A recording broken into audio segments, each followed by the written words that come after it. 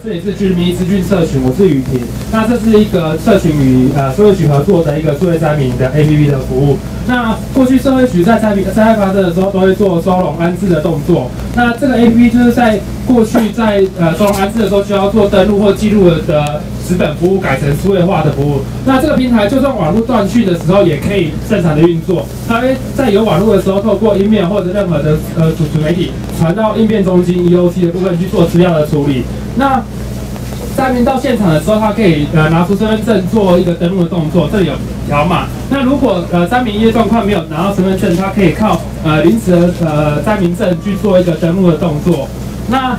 这样的一个服务，除了到医院中心可以做呃资料会诊或，呃 EOC 可以了解所有的收容状况，去做紧急的应变处理。然后甚至于开放资料可以结束灾民协局的部分，那也可以了解到哪些呃灾民可能需要医疗的记录啊，这些在 EOC 那边都会有。那我们来做呃，所以在介绍就是说这样的一个呃应用，基本上在现在常用的 barcode scanner 这种蓝牙，它都通了，所以它可以用在呃我们常用像呃一些便利店那种刷的速度，可以加快速度。OK，然后这里有个 demo 部分，比方说灾民来到现场，然后